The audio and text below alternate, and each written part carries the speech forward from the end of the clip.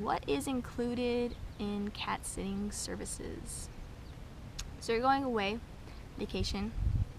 You're gonna be gone for a week. You need someone to come in take care of your cat. Cat sitting can vary on time. Any pet sitting services, uh, the price will vary on the amount of time that you want.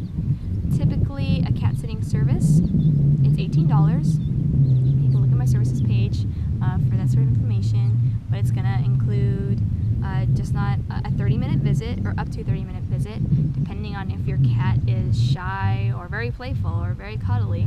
Some cats want absolutely nothing to do with other people other than their owners. Sometimes they want nothing to do with their owners.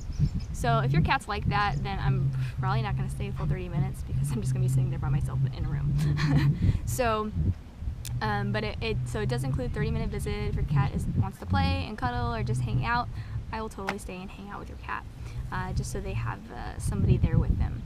Um, if you wanted more time, say an hour, 45 minutes, whatever it may be, two hours, uh, we can definitely schedule that in. But the cat sitting service is 30 minutes, 18 bucks, includes the, the, the stay, uh, litter box uh, cleaning, food, water check, uh, anything of that nature, and of course all my cat, all of my pet sitting services include newspaper retrieval, you know, taking out the trash, uh, any of those housekeeping uh, things like that.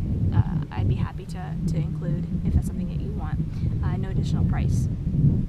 So that's cat sitting services, and I love cats. So if that's something you're looking for, please let me know, and I, and I can't wait to meet them.